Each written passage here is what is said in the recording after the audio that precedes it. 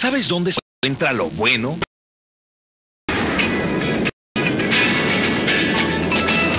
Naturalmente con tus amigos.